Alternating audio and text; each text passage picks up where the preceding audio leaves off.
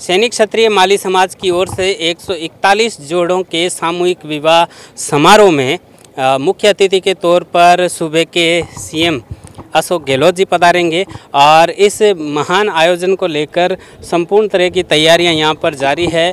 तैयारियों को अंतिम रूप दिया जा रहा है। समाज के, संगठन के जो पदाधिकारी हैं, वो अपनी अपनी अलग अलग जिम्मेदारियों का यहाँ पर निर्वहन कर रहे हैं और ये जो महाआयोजन होने वाला है 141 जोड़ों का सामूहिक विवाह समारोह इसमें मुख्य आकर्षक सूबे के सीएम अशोक गहलोत जी रहने वाले हैं और इन इस पूरे प्रोग्राम की तैयारी को लेकर अंतिम रूप दिया जा रहा है और यहाँ पर समाज बंधु भी मेरे साथ मौजूद हैं तो मैं इनसे भी जानना चाहूँगा कि बहुत खास आयोजन आप कर रहे हैं और क्षेत्र में शायद बमुश्किल होता है कि इतने सारे जोड़े एक साथ सामूहिक विवाह। तो ये समाज के लिए किस तरह से ठीक है? बहुत अच्छा है, संदेश है। तीसरा विवाह है। आगे दो दफे हो चुके हैं। और ये तीसरा है समूह विवाह इसमें खास क्या रहता है? एक तो जनरली जो हमारी सामाजिक परंपरा है हम अपने स्तर पर अगर करें एक हम समारोह में करें तो इसमें अंतर क्या है? समारोह में सबका आराम है। गरीब परिवार का पढ़ने जावा आदमी टबर और बिल्कुल। तो और की दौरे को लेकर क्या तैयारियाँ चल रही हैं? वो तो सब कर रहे हैं जनता।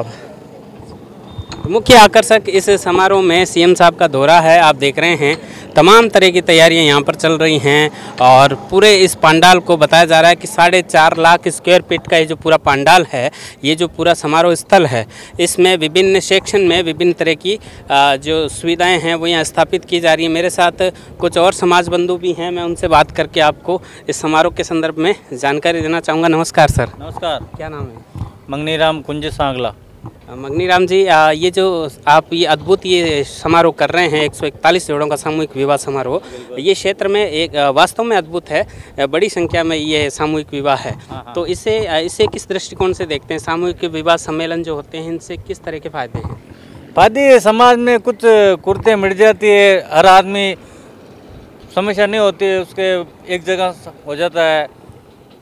और इस ये धीरे धीरे समाज में सुधार आएगा और भी सुधार आएगा।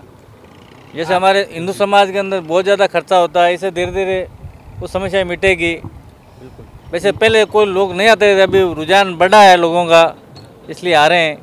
बिल्कुल आपके जो समारोह हैं उसमें पहली बार शायद अस्सी फिर चौरानवे और अब सीधा हाँ, एक सौ इकतालीस हाँ, नहीं और हो जाता अभी टाइम कम रही और हो जाते ये दो सौ हो जाते अभी। और कोरोना काल का जो इफ़ेक्ट रहा है शादी विवाह समारोह में, एक जीवन में निरस्ता सी आ गई थी कि इस तरह के समारोह नहीं हो रहे हैं। अब बड़ा एक समारोह होने वाला है। हाँ हाँ। तो इसे लेकर कैसा बहुत उत्साह लोगों में बहुत उत्साह है। लोगों में काफ़ी उत्साह है विवाहों में वैसा ही समारोह में उत्साह रहा करता है लेकिन ये सामूहिक विवाह समारोह है और बड़ा आयोजन है। इसे लेकर छोटे से लेकर बड़े या संगठन के पदाधिकारी हों सामान्य समाज बंधु हों सब में बड़ा क्रेज़ यहाँ पर दिखाई देने को मिल रहा है। हमने यहाँ की पूरी जो कवरेज है आपको दिखाई है। चलिए इस कवरेज में आगे बढ़ते हैं। और ये जो संस्थान इसको आयोजित कर रही है सैनिक क्षत्रिय माली समाज संस्थान तीन गाँव।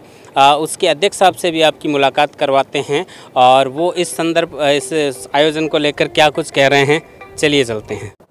सैनिक क्षत्रिय माली संस्थान तीन गाँव न्यात की तरफ़ से ये तृतीय समूह विवाह आयोजन होने जा रहा है। इस तृतीय विवाह के सम्मेलन में अभी तक 141 जोड़ों का विवाह का पंजीकरण हो चुका है और हम युद्ध स्तर पर इसकी तैयारियाँ जारी है। कल 9 अप्रैल दोपहर सवा बारह बजे घी पिले का प्रोग्राम होगा। उसके पश्चात जो भी हमारी एक परंपरा रही है, जिस प्रकार मायरे की, पडले की, शाम को चार, सवा चार का विनय की, उसी दरमियान शाम को सात बजे हमारे समाज के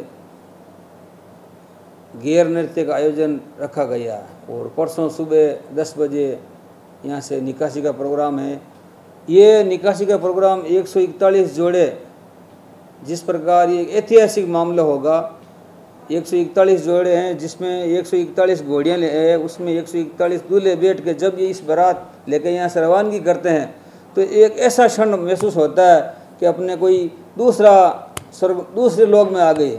तो सबसे ये निवेदन देगा परिवार सहित आज दस अप्रैल सुबह दस बजे यहाँ संस्थान भवन में पधार के इस कार्यक्रम के लुप्त उठाए।